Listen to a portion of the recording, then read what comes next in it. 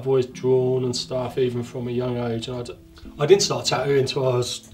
I had a friend who used to tattoo myself, and uh, basically, I used to have a different business, and I chose to leave that business. And my friend said, "Why don't you come and work with me on the counter for a couple of weeks?" So I need someone to cover, and I ended up staying for three years doing an apprenticeship. I never left the shop in those three years.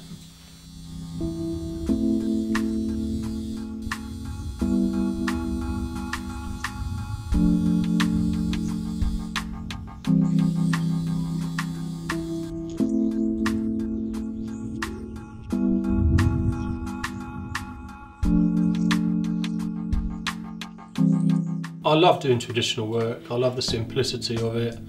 I love how it looks over a long period of time. In 30 years, it's still going to look the same. Big, thick lines, dark shading, bold colours, or even black and grey. I just love how it looks. It just looks it's just clean on the body, and every little piece can tell a story, you know. That's with any tattoo.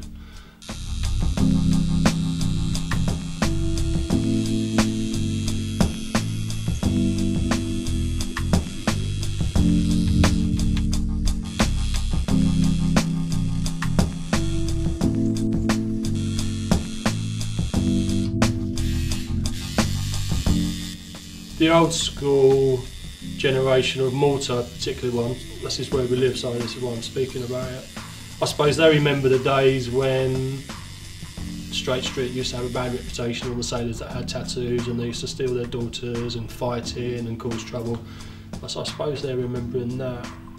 Tattooing's been around long before that. It's, it's just a shame that, I suppose it's a shame that stigma's there, but it doesn't make them bad people judging other people. It's just how it is, you know.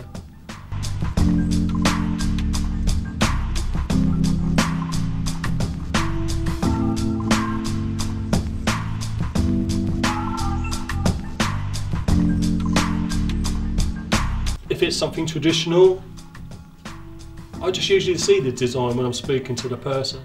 If it's something more of a, what I might say, spiritual connotation in the sense that it might have some symbols attached to it, or I don't know, if I feel the desire to maybe do a meditation, I might, on opportunities, I do come down the cave sometimes and do a meditation and go upstairs and do my drawings.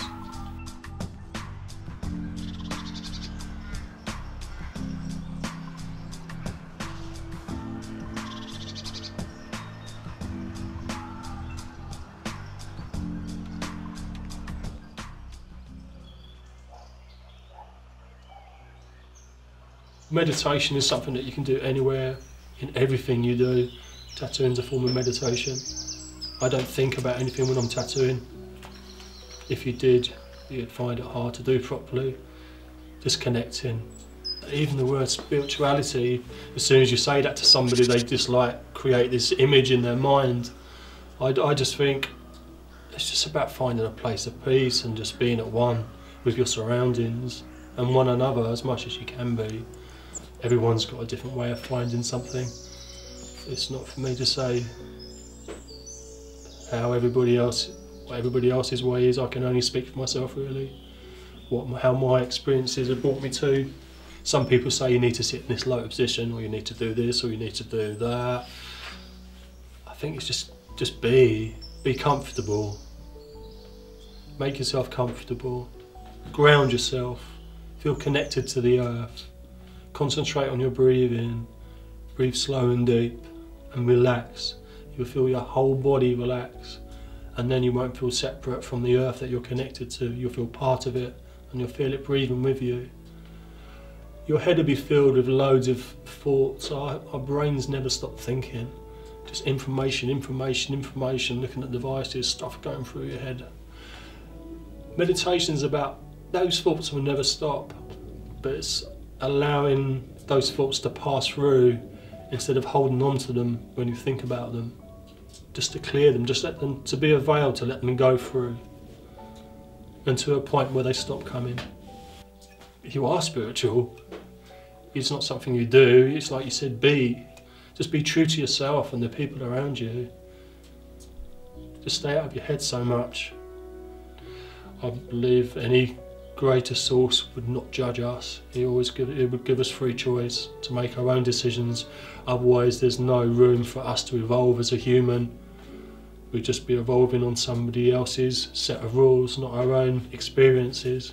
The only thing I choose to try and move forward with at this point is to find peace within and just to try and be a better person on this planet and help the people around me um, more and more each day as much as I can. We're all here struggling, we're all making the same mistakes, we're all struggling to achieve the same goals, just to create a better life for ourselves. Each day do one good thing to help one other person. Do something out of the out of the ordinary, help another person every day of your life, just to do something really simple and see that smile on their face and that smile will grow.